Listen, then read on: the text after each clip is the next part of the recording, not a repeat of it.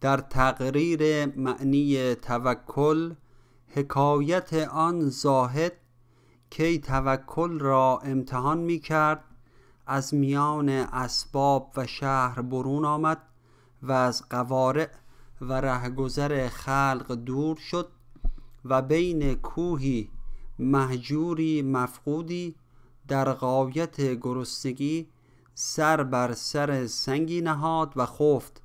و با خود گفت توکل کردم بر سبب سازی و رزاقی تو و از اسباب منقطع شدم تا ببینم سببیت توکل را. آن یکی زاهد شنود از مصطفی که یقین آید به جان رزق از خدا.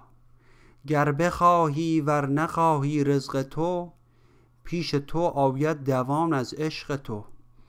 از برای امتحان آن مرد رفت در بیابان نزد کوهی خوف تفت.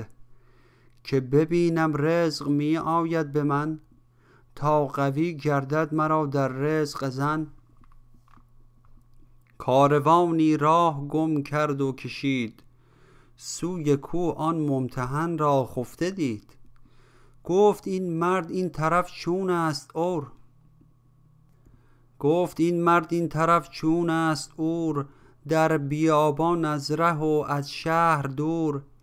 ای عجب مرده است یا زنده که او؟ می نترسد هیچ از گرگ و عدو. آمدند و دست بر وی می زدند. قاصدا چیزی نگفتان ارجمند. هم نجنبید و نجنبانید سر. وا نکرد از امتحان هم او بسر.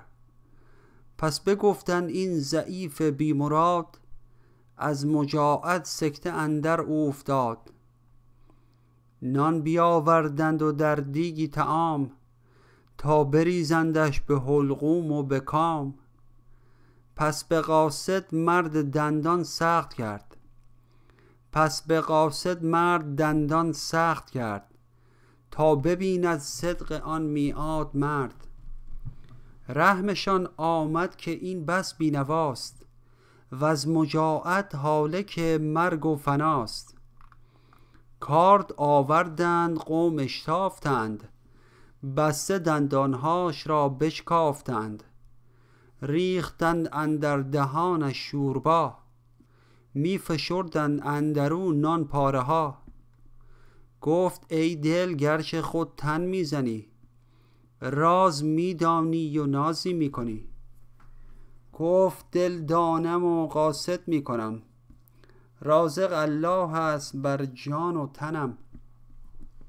امتحان زین بیشتر خود چون بود. رزق سوی صابران خوش می رود